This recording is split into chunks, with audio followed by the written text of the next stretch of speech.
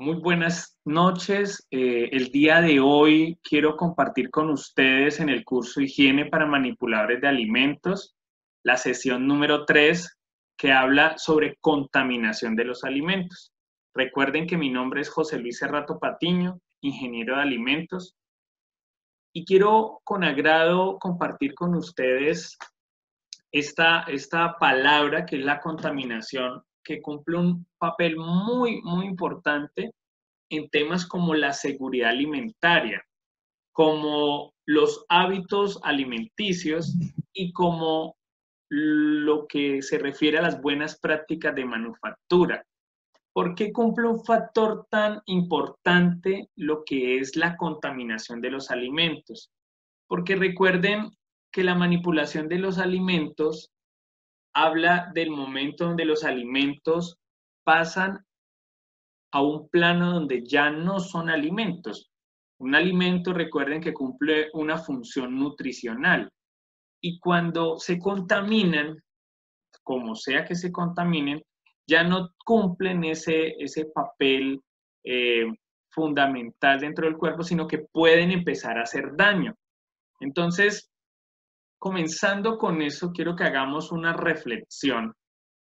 Bueno, vamos a hablar de, esta sesión, vamos a hacer un activador cognitivo, vamos a hablar de los peligros de los alimentos, vamos a hablar de los tipos de contaminación y por último vamos a hablar de la inocuidad de los alimentos.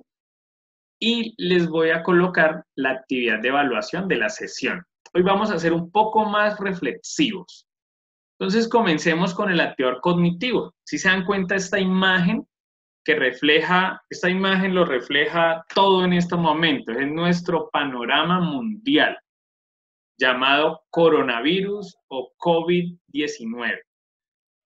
Esto ha generado una realidad nueva para el mundo, ni siquiera para, para este país, sino para todo el mundo, y va a cambiar nuestros hábitos. Por eso la primera pregunta que quiero que se hagan y quiero que si quieren la escriban en el chat para compartirla es, ¿crees que el mundo será igual después del coronavirus? O sea, ¿creen ustedes que el mundo va a seguir su curso normal después del coronavirus?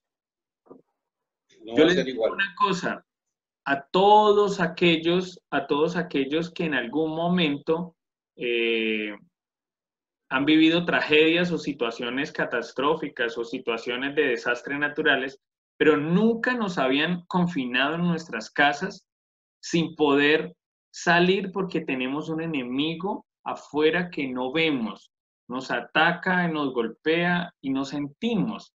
Entonces, pregúntense si volverá a ser igual el mundo. Ahora, si no volverá a ser igual el mundo, ¿Qué hábitos deben cambiar para adaptarse al cambio? Dependiendo del punto en el que se encuentren. Recuerden que yo hablo para todos. Si usted hace parte de la industria de alimentos, trabaja en una empresa de alimentos o es dueño de una empresa de alimentos, analice esta pregunta. Si usted hace parte de la industria gastronómica, que está detenida, sin poder, lo único que pueden hacer son domicilios, analicen qué va a pasar. Y ahora, si usted es una madre o una persona que prepara sus alimentos en su casa, pues analice qué hábitos deben cambiar y quiero que los tengan en cuenta. Es más, cuando eh, podamos reproducir este video, si quieren comentarlo, háganlo. Están en toda su voluntad de expresarse. El primer ítem, como se los mencioné, es peligro de los alimentos. Existen tres tipos de peligros que pueden contaminar los alimentos y provocar un riesgo para la salud pública. Yo quiero que tengan en cuenta algo. Así como los médicos cumplen un factor eh, de, de mucha utilidad en la sociedad porque salvan vidas, así como las personas que construyen, edifican la sociedad, y así como varias eh, profesiones y ocupaciones ayudan a construir, cada persona que prepara los alimentos cumple un factor muy importante en la sociedad porque todo lo que haga tiene, eh, tiene un impacto de carácter en la salud pública. Y nunca como hoy lo íbamos a entender. Creo yo que es importante entender que allá hay un enemigo que nos puede hacer daño y que nosotros ahora sí tenemos que cuidarnos. Ah, entonces ahora sí usamos bien el tapabocas, nos lavamos muy bien las manos, pero eso deberíamos haberlo hecho desde hace mucho tiempo. ¿Qué peligros existen? ¿Por qué no debemos usar accesorios cuando estemos manipulando alimentos? ¿Por qué no deben manipularse los alimentos sin, los debidos protocolos de BPM? Porque existen peligros físicos que están asociados a la presencia de objetos extraños. ¿Cuáles ejemplos? Pues tenemos materias extrañas como trozos de vidrio, de madera, partes no comestibles, eh, alimentos como los trozos de hueso, semillas, bueno, eso por poner algunos ejemplos. A mí me encanta poner acá un ejemplo de peligro físico y es el cabello. No cumple como tal un peligro, pero, pero imagínense cuando aparece contaminando algún alimento, ¿cierto? O tal vez no eso, si usted no controla sus plagas, entonces un mosquito o un zancudo cae en su alimento. Entonces, ojo con los peligros físicos. Los peligros físicos pueden ocasionar daños físicos. Les voy a poner un ejemplo, una historia que escuché de una panadería alguna vez, me acuerdo en el, en el que hubo aparecía. Eh, le salió una cuchilla de afeitar en el pan. Y yo decía, oh, interesante. Entonces leía la noticia y resulta que con las cuchillas eh, Minora, estas que son por lado y lado, algunas panaderías de pronto no tan grandes, usaban para dividir la masa, o sea, para cortar la masa del pan antes de organizar el pan.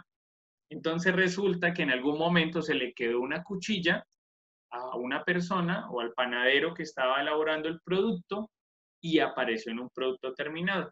Imagínense el impacto que le puede generar a una persona si muerde bien el pan y la cuchilla le corta la, lengua, la boca, el paladar, bueno. Entonces, ojo con los riesgos o peligros físicos. Los peligros químicos. Ya lo veníamos mencionando desde la, desde la sesión pasada y es que son peligros que ocurren en toda la cadena alimentaria, como por ejemplo residuos de productos químicos utilizados en los cultivos. Entonces, vamos a comenzar con el tomate, la lechuga. Entonces, a veces llegan ustedes con sus frutas y dicen, mire esta fruta tan maravillosa o esta hortaliza que compré y se la compran al señor que va gritando por la calle que vende lechuga, tomate, cebolla y uno dice, no, pues ayudémosle. O a la señora de la plaza y resulta que usted está comprando un producto que no sabe de dónde viene porque no tenemos trazabilidad, no saben quién lo cosechó, de dónde lo cosecharon, qué prácticas tuvieron para eso. Resulta que cuando llega a la casa, lo mínimo que debe tener es un lavado y un escaldado mínimo con las hortalizas. Las hortalizas, especialmente muchas de ellas en sus frutos, como en el tomate, o en sus hojas, como la lechuga, tienen, el, o sea, tienen eh, rastros o tienen, digamos que, algunas partículas de los pesticidas que se utilizan para contaminar las plagas en los cultivos.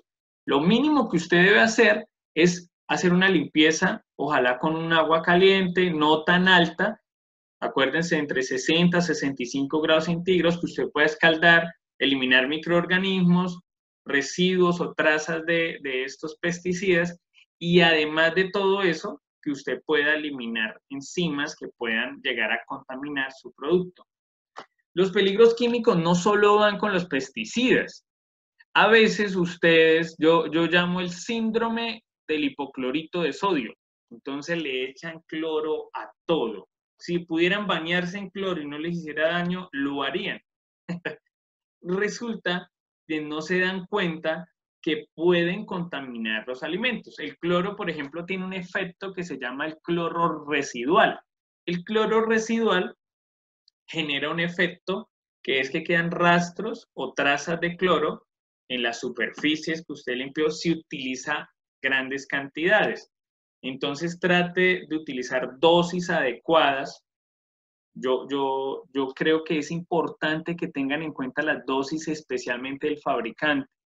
Yo acá hago un comentario eh, que le hice a una persona de este grupo y es, si ustedes van a comprar un producto, garanticen que donde lo compren, el producto tenga algo que se llama dosis de uso. Si el producto no tiene dosis de uso, preocúpense, porque nadie más que el fabricante sabe realmente cuáles son las dosis para utilizar este producto. Entonces, ojo con esto. Además de eso, es muy importante que tengan en cuenta que los peligros químicos también se dan en las fases finales de la preparación. Entonces, a veces dejamos rastros o trazas de algún desinfectante en la olla, en el envase, en el vaso, en el plato, que queda ahí y usted sirve sus alimentos sin tener la debida precaución. Entonces los peligros químicos son muy latentes y sucede mucho con los líquidos cuando usted dice, uy, esto sabe como a, a límpido. Creo que de pronto en algún momento les ha pasado. Entonces, ojo con eso. Vamos a seguir acá con algo importante y son los peligros biológicos. En esto sí nos vamos a centrar mucho especialmente por lo que está pasando. Los peligros químicos son peligrosos porque pueden generar intoxicaciones, pero los peligros biológicos son muy complejos. En estos momentos un peligro biológico nos tiene encerrados en nuestras casas, porque ataca de manera que no lo vemos. El mundo de los peligros biológicos lo constituyen las bacterias, las levaduras, los hongos, los virus y los parásitos. Recuerden cómo se clasifican, digamos, los microorganismos. Eso lo veremos un poco en la próxima sesión, que vamos a hablar netamente de comportamiento de microorganismos y cómo existen, todo eso.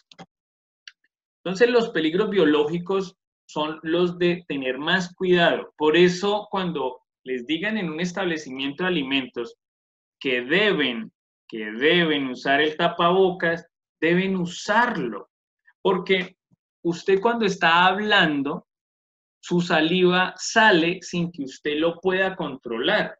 A veces es más notorio en unos que en otros, pero sale, o sea, sucede. Ténganlo en cuenta, por favor. Además de esto, cuando les dicen eh, usen el gorro, usted a veces en su cabello si no usa un gorro, a mí me preocupa mucho cuando llego a un restaurante, a un lugar, y uno ve a la persona contenta trabajando en el restaurante y no tiene ni gorro ni tapabocas. A mí me duele como el corazón, porque realmente se pueden generar muchas contaminaciones, porque uno en el cabello también acumula suciedad y microorganismos. Entonces, ojo, ojo con la importancia especialmente los peligros biológicos. Vamos a hablar cómo funciona el crecimiento microbiano para entender cómo se generan los riesgos biológicos. Yo creo que he repetido algo todas las sesiones y es que los alimentos se dañan por la existencia del agua en los alimentos y de los microorganismos que necesitan el agua con las condiciones adecuadas para poder vivir, ¿cierto? Entonces, ¿dónde se encuentran los microorganismos? En todas partes. En el ambiente están en el aire, en la tierra, el viento, en los utensilios, en los alimentos contaminados, en las aguas hervidas, o sea, todas las aguas de la red sanitaria, en las basuras, en el resto de comidas. Siempre hay microorganismos. Tengan en cuenta que a medida que haya mayor digamos que mayor cantidad de posibilidades de vida, o sea, de que haya presencia de eh, organismos vivos en residuos orgánicos, va a haber mayor presencia de microorganismos. ¿A dónde más hay microorganismos? En los humanos. Nosotros estamos llenos, llenos de microorganismos. Nuestra piel, la piel de los animales. Eh, yo, yo, por ejemplo, eh, los animales me parecen, las mascotas especialmente me parecen muy, muy chéveres. Creo que nadie más te muestra amor como una mascota. Pero como ingeniero de alimentos, digamos que una mascota en un, en un, lugar, especialmente donde se preparen alimentos, no pueden estar, o sea, no son compatibles porque los animales sin querer tienen eh, condiciones muy diferentes a las de nosotros. Y esas condiciones diferentes hacen que ellos tengan bacterias distintas, microorganismos distintos que nos pueden eh, enfermar o contaminar especialmente lo que comemos. Ojo, ¿en dónde están? En las heridas infectadas, en el cabello, en las manos, las uñas sucias, ojo con esas uñas. Por favor, si manipulan alimento, manténganlas cortas.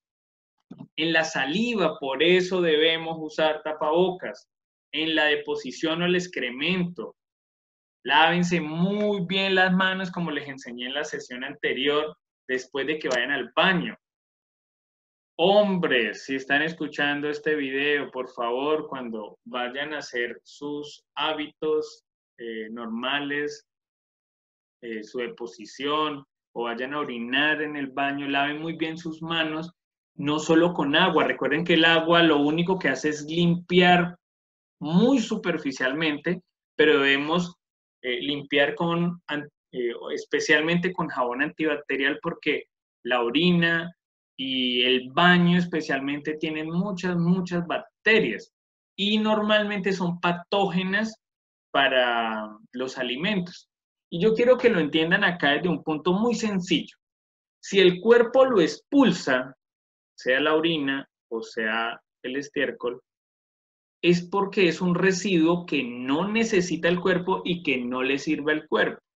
Si ustedes me preguntan qué es el intestino delgado y grueso dentro del cuerpo o el estómago, todos los órganos que usted tiene ahí adentro, no se lo digo como médico, sino como ingeniero, eso es una máquina que selecciona lo que le sirve al cuerpo, lo absorbe y lo que no le sirve lo bota.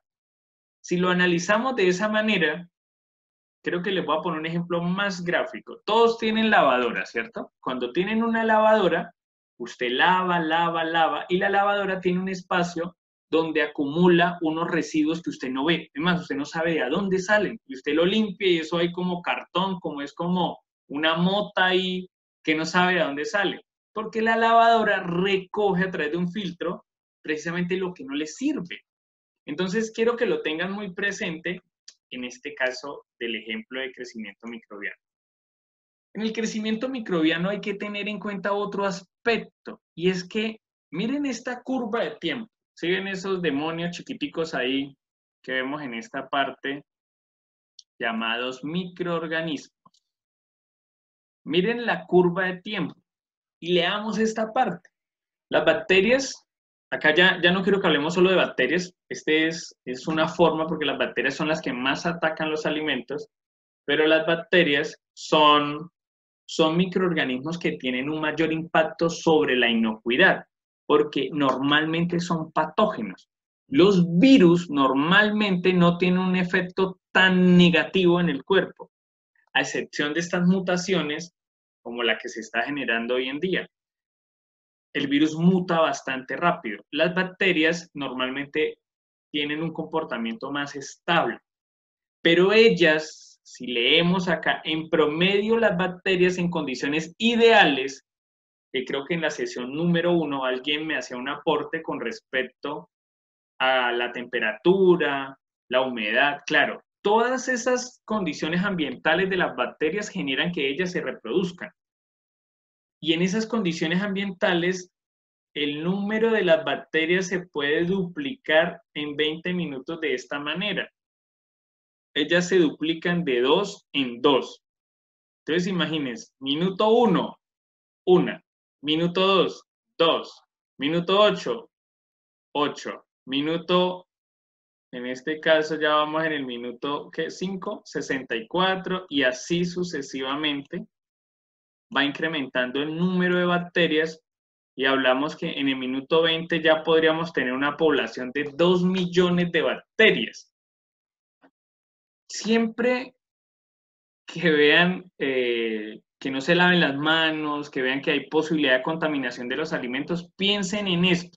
No pretendo que entiendan las bacterias, cómo se comportan, en, su aspecto técnico. Quiero que entiendan que en 20 minutos puede haber una población de una bacteria a 2 millones en algo muy, muy rápido.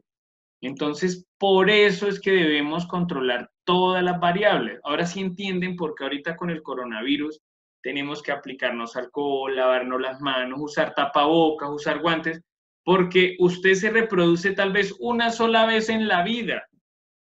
Ellos en 20 minutos ocupan la población de Bogotá. La de, o sea, Ibagué lo superarían en números si las bacterias fueran seres humanos. Entonces, ojo con esto.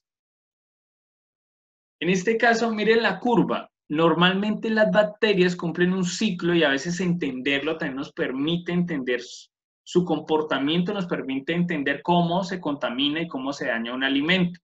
Ellos tienen una primera fase que es la adaptación. Esta fase normalmente es la que hay que atacar. Si usted no le genera condiciones adecuadas, él se va a morir facilito y no va a tener usted que sufrir con los efectos que él genera. Si ya empieza su fase exponencial, donde los 20 minutos que le hablé de reproducirse, pues ya la cosa empieza a complicarse. Porque acuérdense que yo partí de 2 millones partiendo de una bacteria. ¿Qué pasa si usted comienza con 100 bacterias? Pues va a tener una población inmensa de bacterias rápidamente en su lugar de preparación de alimentos. Ahora vayamos a la fase estacionaria. En esta fase ya la comida y la población de ellos es bastante grande entonces ya dicen, hasta aquí llego yo, y es donde empieza la muerte celular posterior a eso. No esperemos a que llegue la muerte celular por una razón, porque las bacterias ya han hecho muchos estragos acá. Si ustedes no quieren tener problemas de enfermedades transmitidas por alimentos, siempre hay que atacar en la fase de adaptación. Entonces, laven muy bien sus manos, desinfecten muy bien los lugares donde están trabajando, los utensilios, todo. Vamos a proseguir. Eh, bueno, los tipos de contaminación en los alimentos pueden ser de tres tipos, primaria, directa y cruzada. Ya habíamos hablado de este concepto en las dos sesiones anteriores, el término de contaminación cruzada, pero quiero que ahora lo interioricemos de mejor manera. ¿Cuál es la contaminación primaria de origen? es la que ocurre en el mismo, eh, en el proceso de producción primaria. Recuerden que la producción primaria está catalogada por el sector agrícola o el sector pecuario. Entonces, ¿qué es sector agrícola? Donde se fabrican las frutas, o sea, en los cultivos donde se dan las frutas, las hortalizas. Eso es sector primario. En el caso de, de los productos pecuarios, entonces estamos hablando de los huevos, estamos hablando de la leche, de la carne. Esos, esos, digamos que esas operaciones, digamos acá hay unos ejemplos muy sencillos de esas operaciones como la cosecha, el faenado, que es el mismo sacrificio-beneficio del animal, el ordeño, la pesca. Ellos tienen unos microorganismos, o sea, la materia prima tiene unos microorganismos y llevar, o sea, y uno se puede contaminar con ellos. Entonces es lo que pasa, digamos, cuando el pescado se cocina, pero no se hace un buen proceso de cocción y contamina. O los huevos que han pasado por una contaminación con, con materia fecal, pues también generan un efecto negativo. Entonces vamos a hablar de la contaminación 2, que es la contaminación directa. ¿Cuál es la contaminación directa? Normalmente llega alimento, al alimento por medio de la persona que manipula. Entonces acá cumple un papel muy importante el hecho de que yo use tapabocas, use mi gorro. Entonces yo me puedo convertir en un agente transmisor de la contaminación. Entonces imagínense si ustedes tienen gripa y son, sufren de rinitis, pues en un alimento lo van a contaminar muy rápido porque usted lo que va a generar es una eh, expulsión de microorganismos de manera permanente. Entonces, ojo con esto cuando estén enfermos y manipulen sus alimentos. Entonces, usen su tapabocas. Y la tercera es la contaminación cruzada. Si miramos en términos más sencillos, ese texto lo dejo para que lo puedan revisar. Ustedes ya tienen este material y creo que lo han podido leer. Pero básicamente la contaminación cruzada se genera cuando entonces, la contaminación directa, o sea, la contaminación que viene primaria, entonces de la materia prima, que sea carne, leche, huevo, fruta, hortaliza, contamina el utensilio suyo y contamina sus manos, y usted contamina el alimento, y entonces el producto terminado con el producto inicial se cruzan y eso genera una contaminación de doble vía, de primaria, del manipulador, de los utensilios. Por eso se llama contaminación cruzada, porque es la contaminación que se da mezclando las dos contaminaciones anteriores. ¿Listo? En este caso, en los tipos de contaminación hay unas vías de contaminación. ¿Cuáles son las vías de contaminación más relevantes? Los vectores. ¿Qué son vectores? Son las plagas que conocemos. Entonces conocemos estos maravillosos animalitos, las cucarachas, los zancudos, los roedores, que son los que mayor presencia tienen, especialmente en el uso doméstico. Entonces, domésticamente y en los establecimientos eh, donde se manipulen alimentos gastronómicos de la industria en general, pues va a haber posibilidades de ellos. Ellos normalmente transportan microorganismos que contaminan los alimentos. Por eso es muy indispensable que en los lugares donde se manipulen alimentos tengan un control adecuado de plagas. Como les decía, yo creo que en estas sesiones no les voy a explicar cuál puede ser mejor control de plagas, pero si tenemos la oportunidad de seguirnos capacitando, van a poder encontrar eh, cómo lo pueden hacer de manera natural, entonces de manera biológica, de manera química, de manera física, para que lo tengan muy presente. Y la segunda, especialmente en los lugares de, de preparación de alimentos, sucede que otra vía de contaminación es la basura o los residuos que se generan en nuestros lugares de preparación de alimentos. Especialmente no contar con una buena disposición de los residuos va a generar medios de cultivo perfecto para la proliferación de microorganismos. Yo acá les pongo un ejemplo que ustedes lo han visto, pero no lo han analizado tal vez. ¿Por qué huelen mal los residuos en la basura? Es más, ¿por qué huele mal el carro de la basura? Porque la basura son residuos y los orgánicos normalmente tienen microorganismos. Recuerden mucho eso.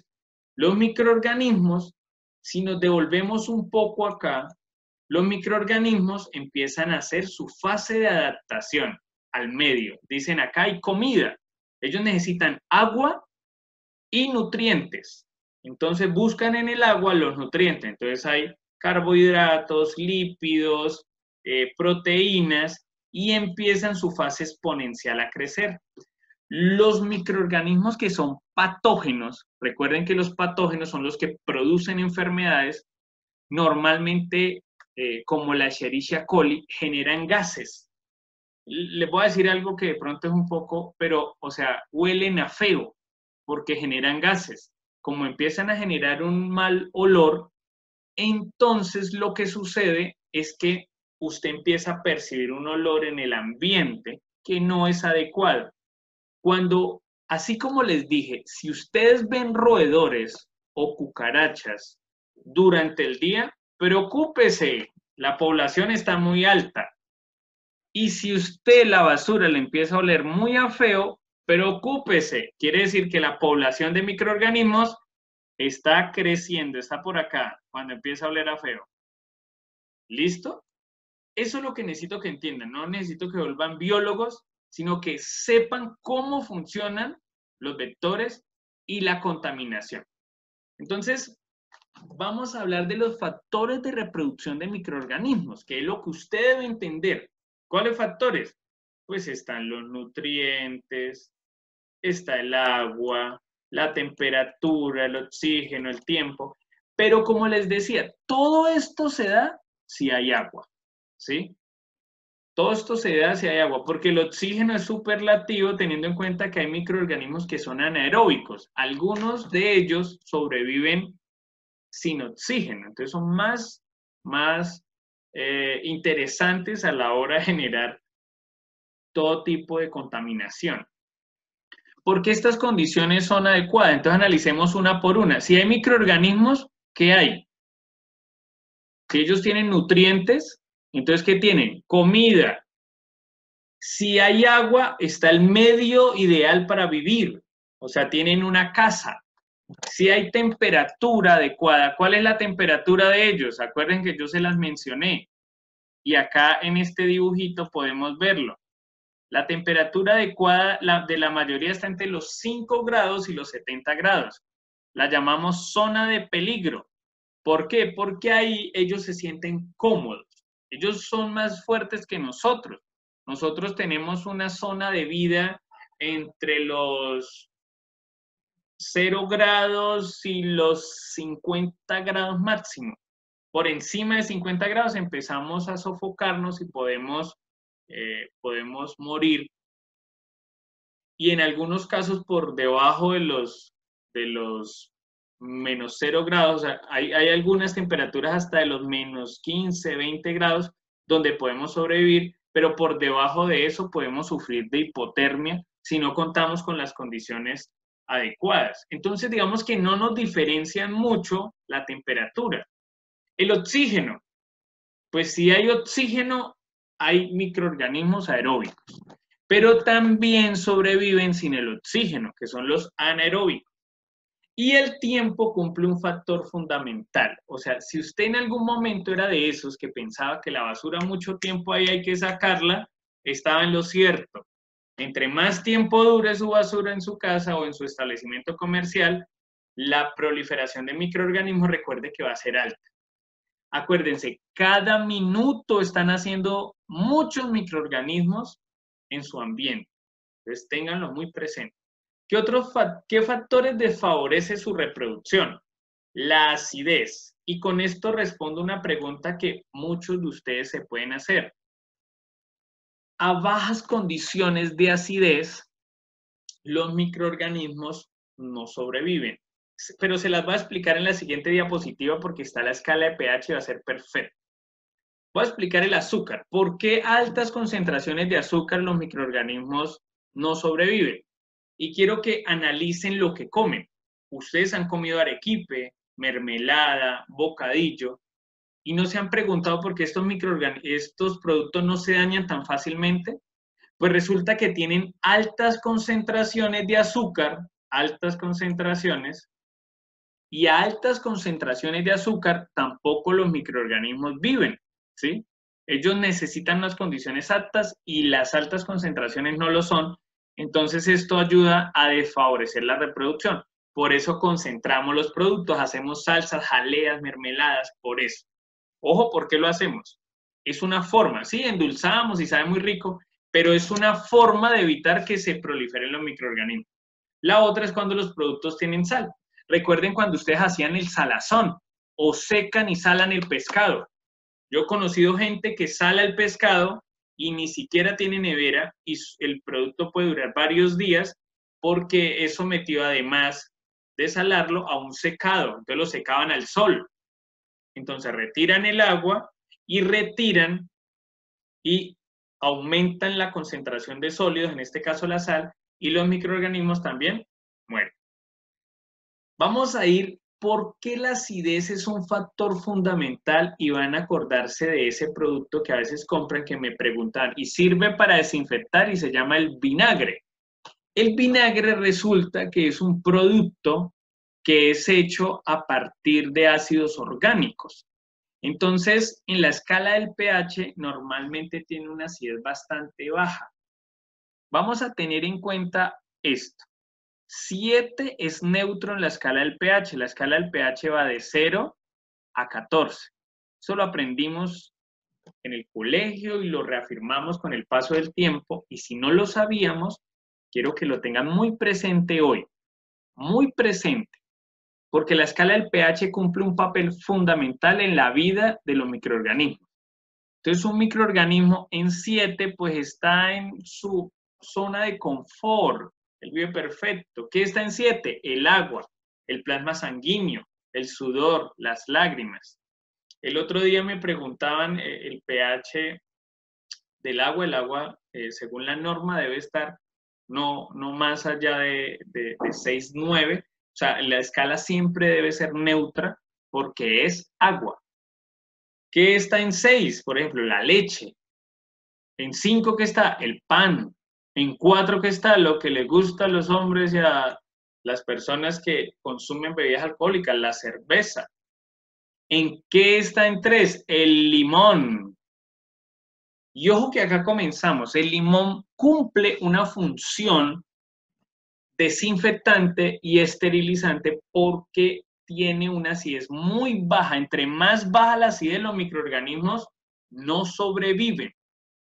En dos que está, los jugos gástricos. Se han escuchado que nuestros jugos gástricos son muy, muy fuertes y por eso generan úlceras gástricas cuando no comemos o simulamos que comemos porque tienen un pH muy bajo. ¿Qué está en uno? Lo hemos mencionado básicamente. Esta sigla, para que la tengan en cuenta, HCl, significa hipoclorito. Y normalmente eh, este tipo de, de productos son acidez muy, muy bajas y por eso generan un poder tan fuerte en la desinfección. Y si miramos hacia arriba, Vamos a ir donde otros. Uno que utilizan mucho en la casa para la acidez, bicarbonato de sodio. ¿Por qué lo utilizan? Pues porque el bicarbonato es, men, o sea, en la escala de la neutralidad, en la escala del pH, tiene un, un pH alcalino. Todo lo que sea hacia este lado es alcalino. O sea, no es ácido. Lo contrario a ácido no es amargo. Ojo con eso. Lo contrario ácido es alcalino. Entonces, cumple una, eh, una función alcalina para controlar la acidez, regula, o sea, busca que el pH se regule. Ustedes consumen lo que se conoce como la leche de magnesia o el sulfato de, sodio y bueno, consumen algunas bebidas que a veces dan los médicos para poder controlar la acidez del cuerpo. Precisamente son productos alcalinos que lo que buscan es regular la acidez y contrarrestarla de aquí hacia allá. Los detergentes son alcalinos, por eso también eliminan microorganismos. El amoníaco, que es un veneno, y el hidróxido sódico, que pues ya tiene una escala en la alcalinidad bastante alta. Ojo con esto, los microorganismos, mañana vamos a mirar la escala de pH de ellos, pero ellos sobreviven en unos rangos. Si yo le rompo esos rangos, él va a morir. Téngalo muy presente. Siempre debemos hacer las funciones para eliminar los microorganismos, eliminándolos, pero preservando las condiciones de, del alimento. Bueno, los tipos de contaminación también aplican para las instalaciones y el manejo de los equipos. Entonces, pues, ojo con esto. Debemos eh, para lograr un correcto lavado de los equipos e instalaciones, debemos limpiar muy bien los residuos, lavar con agua suficiente y detergente. El detergente cumple una función de limpieza, no tanto desinfectante, pero sí de limpieza porque ayuda a eliminar muy bien la suciedad. Enjuagar con agua potable, nunca reutilizar el agua usada. Ojo que a veces ese hábito lo hacemos a no ser que el agua pues digamos que sea limpia, pero no se recomienda. Y se debe desinfectar.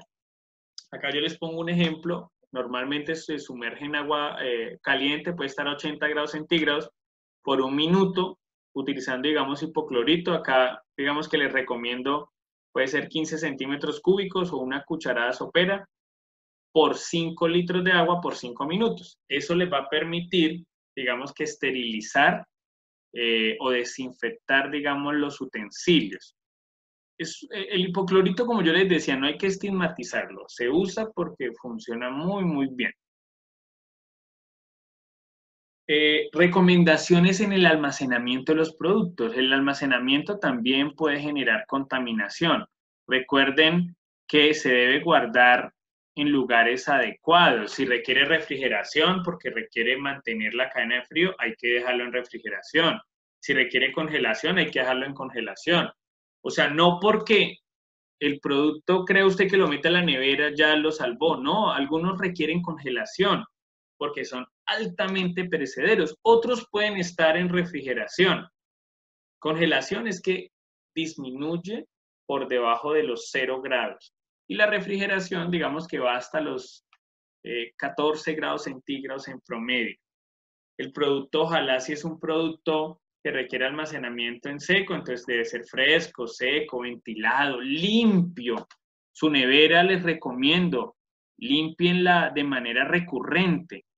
Eh, si lo dejan en una alacena de manera recurrente, periódica, no dejen esto para cada 50 años o cada vez que haya una pandemia, sino que ojalá, ojalá que puedan hacerlo de manera recurrente, establezcan la frecuencia, una vez por cada 15 días, una vez por mes, una vez por semana, como ustedes consideren, pero ténganlo en cuenta, establezcan un programa para la limpieza y desinfección del el almacenamiento de sus alimentos.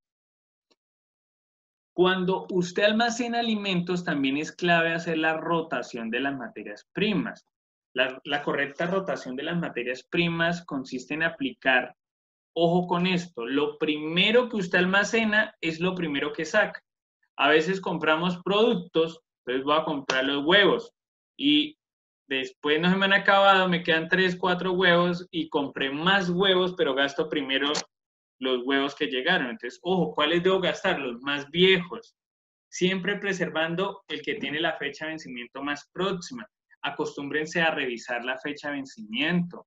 Acostúmbrense a mirar las condiciones del empaque. ¿Está bien empacado? ¿Tiene algún problema?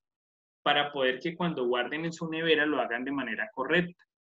Mire, si tienen un establecimiento comercial, una industria de alimentos, o en su casa preparan alimentos, su nevera debe ser el santo grial. La nevera debe limpiarse mínimo una vez cada 15 días, una vez por semana. Desinfectenla porque ella fácilmente acumula microorganismos. Si van a almacenar sus productos, tengan en cuenta que deben hacerlo en las condiciones adecuadas. Tapen los que ya se utilizaron, gasten los rápidos. Ojo con todas estas cosas, ¿listo? Miren este aspecto importante. El almacenamiento de los productos elaborados debe cumplir con algunos aspectos. Eh, si en caso de tener, digamos, una heladera, debe ser dividida en sectores para los diferentes insumos. A veces solo tenemos una, heladera, llamamos lo que es un congelador. Entonces distribuyanlo, no metan una cosa sobre la otra, el pescado con el pollo y, y de pronto la pulpa de fruta, uno suele ver mucho eso, entonces la pulpa de fruta encima del pescado y resulta que a usted el jugo de maracuyá le sabe a salmón. Entonces esos inventos no lo hagan. Si se cuenta con un, pues un congelador, una heladera, eh, entonces separe los alimentos crudos de los productos elaborados. Es importante. Si usted tiene una empresa que se dedica a preparar alimentos, ojo, está en la obligación de separar materia prima de producto terminado. ¿Qué es materia prima? Lo que no ha sido transformado. Leche, carne, huevos, eh, frutas, hortalizas.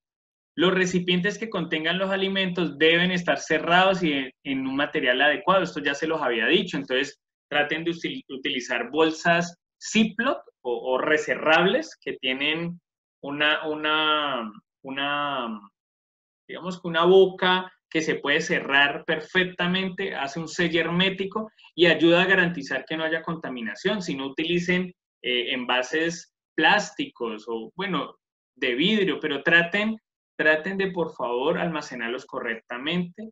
Eh, la carne cruda, aves, pescado, huevos, de tal modo que no goten sobre los alimentos cocidos. Recuerden que la descongelación normalmente se llaman lixiviados, estos líquidos, y es que se está desnaturalizando la proteína, están saliendo enzimas, microorganismos, y eso no va a ser positivo. No guarden en, las, en, las heladeras o congeladores latas abiertas que digamos que pueden generar contaminación alta, como el atún, entonces destapar una lata de atún, de sardinas, no, eso hay que comérselo inmediatamente, no guarden eso. Si tienen dudas, yo después les explico por qué. Es muy crítico. El almacenamiento también debe ser separado de los productos químicos. Nunca se le ocurra dejar el detergente, el hipoclorito, el límpido, eh, la balosa, en el mismo lugar donde almacena sus alimentos.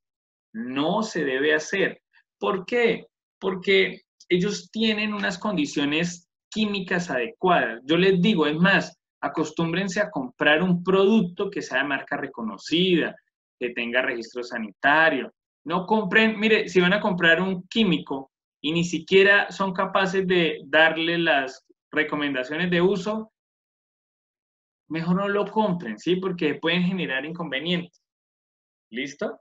Tengan en cuenta que deben estar almacenados, etiquetados. Miren que hay algunos casos que vienen con unos rombos que dicen unos colores, amarillo, azul, rojo, que habla de la peligrosidad de los químicos. Lean sobre ellos. Si quieren, tienen dudas, después podemos ahondar en este tema de los insumos químicos, pero almacénenlos correctamente, aparte de los alimentos, nunca en el mismo lugar. Bueno, ahora por último vamos a entrar en el tema de la inocuidad de los alimentos. La inocuidad es clave porque la inocuidad es sinónimo de calidad. Si usted eh, cumple con la calidad de los alimentos, va a tener un producto inocuo. Un producto inocuo es aquel que está libre de microorganismos o de contaminantes y quiere decir que cumple unos estándares de calidad. Yo les voy a dar cinco, eh, aspectos fundamentales de la inocuidad que deben tener en cuenta. Utiliza agua y materia, eh, materias primas seguras. Todos los alimentos que consuman deben provenir de fuentes confiables. Mire que a veces, a veces no, no sabemos de dónde vienen los alimentos. Hay un concepto que quiero que lo escriban, si tienen papel y lápiz, escriban, se llama la trazabilidad. La trazabilidad es muy importante porque me permite a mí saber de a dónde vienen las cosas. Pero cuando vamos a una plaza de mercado normal, no sabemos de dónde viene el producto. Y no está mal. Compren sus productos allá. Pero por eso les digo, tengan en cuenta las recomendaciones. O si usted le compró al señor que le dice el aguacate, le vendo el aguacate, la piña, la papaya, y usted dice, ay, tan chévere, el señor me lo trae acá, chévere, pero usted no sabe qué condiciones de buenas prácticas o higiene tiene esa persona, y mucho más con esos alimentos. Entonces use agua potable tratada, como les decía. Seleccione bien los alimentos. Lave las frutas y verduras, como ya les he dicho. Verifiquen las fechas de vencimiento y no consuman alimentos vencidos. Porque a veces decimos, no, a uno le suele pasar. No, eso tiene dos días, eso todavía sirve. Entonces, ojo, esos hábitos tenemos que irlos eliminando, especialmente para garantizar la inocuidad de nuestros alimentos. Los alimentos deben estar completamente cocidos, especialmente si no contamos con la trazabilidad. Pero ¿cuáles especialmente? Las carnes, los pollos, los huevos, los pescados, porque son altamente perecederos. Altamente perecedero quiere decir que son productos que contaminan fácilmente otros o nos contaminan fácilmente a nosotros. Tengan en cuenta esta gráfica digamos, si estamos hablando de carne eh, semicruda de res, de ternera, de cordero, pues que ojalá mínimo llegue a los 63 grados centígrados. Si estamos hablando de carne molida, hamburguesa, albóndigas, preferiblemente a los 71 grados centígrados. Si hablamos de sobrantes, rellenos y cazuelas, pues preferiblemente por encima de los 74 grados centígrados. Si hablamos de pechuga de pollo, pavo, carne bien cocida de res, 77 grados centígrados. Y si hablamos de aves enteras, piernas, músculos, alas, pues por encima de los 82 grados.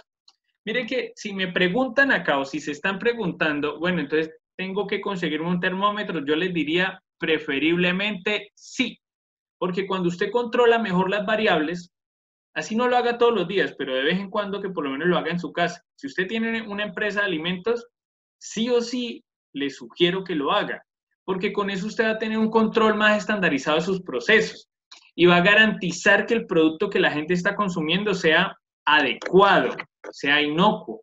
Pero ojo acá con algo, cocinar bien los alimentos, si ven que no habla de 100 grados centígrados, entonces usted le dice, eso déjelo hervir media hora, que es que así es que es bueno. Entonces resulta que media hora está desnaturalizando el alimento y está comiendo bagazo. Recuerden eso. Hierve los alimentos como sopas y guisos para asegurarse que alcanzaron 70 grados centígrados. normalmente temperatura interna, también eso es importante. Una cosa es la temperatura externa del líquido, como pasa con los tamales, o sea, uno herve y dice, bueno, pero los tamales los herví mucho, pero es que la temperatura interna del tamal no alcanza los 100 grados centígrados, entonces sí lo puede, o sea, que el ambiente externo, porque lo recubre una hoja, en este caso que es orgánica, que es un envase orgánico, pero que lo recubre y permite que el interno del producto esté a una cocción más baja. Las carnes rojas y pollos, eh, garantizar de que sean jugos de color claro y no rosados, eh, porque pues hay desnaturalización. Es recomendable el uso de termómetros, como se los decía, y recalentar la comida, háganlo a temperaturas no tan altas para no terminar desnaturalizando los alimentos. Tercer punto de la inocuidad muy importante, y es separe los alimentos crudos de los cocidos. Eso evita la contaminación cruzada, como ya lo hemos hablado, los alimentos crudos pueden estar contaminados porque pues, son crudos, tienen agentes que pueden generar contaminación primaria y por eso se vuelve cruzada, porque este producto, es que, piensen una cosa, ¿para qué cocinamos el producto? Cumple dos funciones. Una, que no nos haga daño, porque no nos lo vamos a comer crudo. Y otra, que mejora el sabor.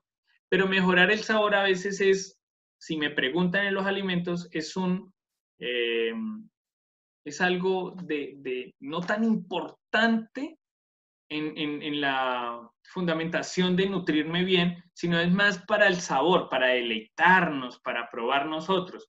Pero el producto ya habiendo pasado por un tratamiento térmico como la cocción, lo que hace es garantizar que no hay microorganismos. Recuerden siempre esto. Entonces tengan en cuenta estas recomendaciones importantes. Entonces separe siempre los alimentos crudos como pollos, carnes y pescados de los cocinados y de los listos para comer consérvelos en recipientes separados y sus equipos y utensilios que sean diferentes. O sea, no con el pollo que corta el producto terminado, corten el pescado o el pollo. Cuarto punto de la inocuidad.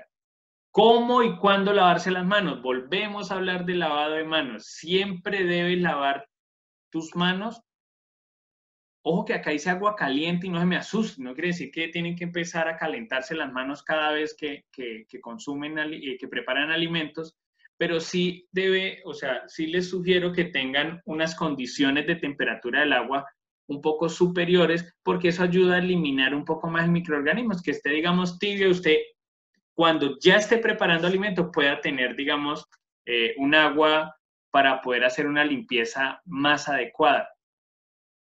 Recuerden, recuerden estos aspectos fundamentales. Siempre recordemos lavar nuestras manos. A veces las olvidamos lavar y sucede. Y cuando frecuentemente olvidamos lavar nuestras manos, entonces miren esta gráfica tan importante. Si olvidamos lavar frecuente nuestra mano, a veces el pulgar, a veces nuestra yema de esta mano, porque no es la que usamos más, y si lavamos normalmente, entonces es esta parte. Debemos lavar muy bien nuestras manos porque a veces creemos que le echamos agua y listo. Y resulta que debemos eh, utilizar el agua correctamente. ¿sí? No digan, no, le eché el agua y listo. No, no, no, eso no es correcto.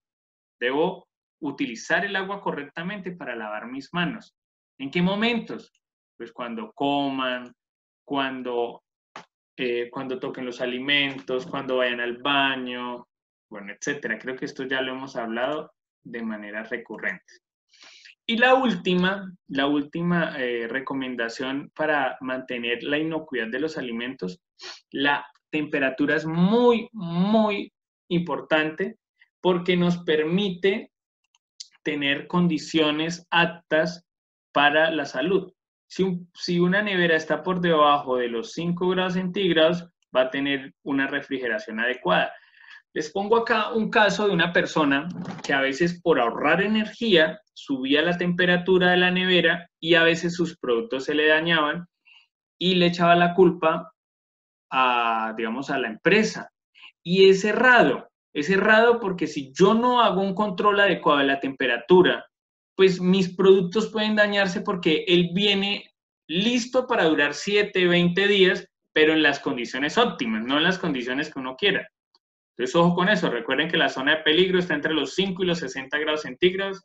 Ya por encima de esto, pues ya es una temperatura adecuada, que normalmente son los tratamientos térmicos que se utilizan. Entonces, eh, digamos, en este caso, tener en cuenta no es congelar los alimentos a temperatura ambiente, eso yo se lo expliqué en la sesión número uno. Mantengan la comida bien caliente. Si no recuerdan, digamos, lo de la congelación, recuerden que descongelar el alimento es importante hacerlo de manera lenta si congelo lento. Y si congelo rápido, también lo mejor es hacerlo congelación lenta. Recuerden que en una nevera convencional usted hace una congelación lenta, se generan macromoléculas de, la estructura del hielo y congela la estructura molecular del alimento y cuando usted descongela rápido con un chorro de agua de su, de su fregadero o utiliza de pronto, o sea, lo hace a temperatura ambiente, va a ser un choque drástico y va a haber rompimiento molecular y eso va a generar que haya una generación de lixiviados o lo que ustedes llaman esos juguitos y esos juguitos es desnaturalización del producto. Mantengan la comida bien caliente por encima de los 60 grados centígrados para, eh, para antes de consumirla. Refrigere lo más pronto posible, preferiblemente eh, por debajo de los 5 grados centígrados y no dejen alimentos cocidos a temperatura ambiente por más de dos horas. Por eso los lugares de gastronomía, o sea, cualquier lugar, restaurante, no debe dejar el producto a temperatura ambiente más de dos horas. Debe conservar unas condiciones de temperatura para eliminar los microorganismos. Recuerden que es su principal enemigo. Y por último, vamos a dejar la actividad de evaluación de la sesión, que son dos preguntitas en este caso van a comentar en este video, van a comentar qué hábitos comete a diario que faciliten la contaminación de los alimentos. ¿Qué hábitos? Usted debe tener un hábito que genera contaminación de sus alimentos y solo se dio cuenta hasta ahorita que está haciendo estas sesiones de formación. ¿Y cuál cree usted que es la mejor forma de evitar la contaminación de alimentos en su lugar de preparación de alimentos en este momento de la pandemia por coronavirus? donde quien nos ataca es un virus. Entonces, eh, quiero escuchar sus comentarios, los van a dejar ahí en el video. Esta sesión ha sido muy buena para mí con ustedes. Muchas gracias.